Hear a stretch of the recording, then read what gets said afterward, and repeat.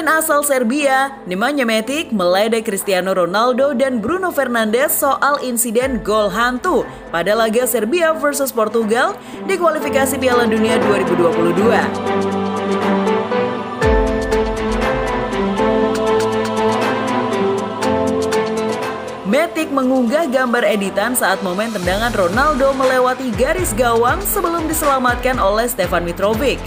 Dalam gambar yang diunggah oleh Matic, garis gawang digeser lebih ke dalam sehingga bola tembakan Ronaldo terlihat belum melewati garis. Gurawan Matic ini disertai oleh kalimat yang ditujukan pada Ronaldo dan Fernandes.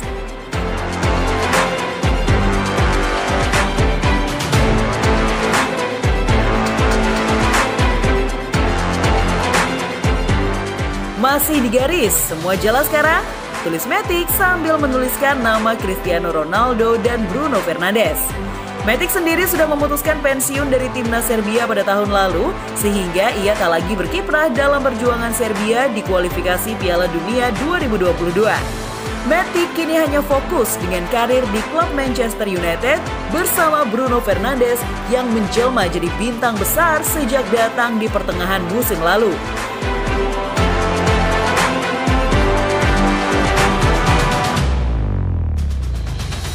Serbia versus Portugal berakhir imbang dengan skor 2-2.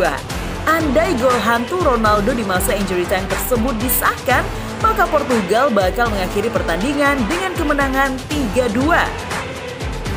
Portugal sendiri sudah sempat unggul dua gol di babak pertama sebelum Serbia mencetak dua gol untuk menyamakan kedudukan di babak kedua.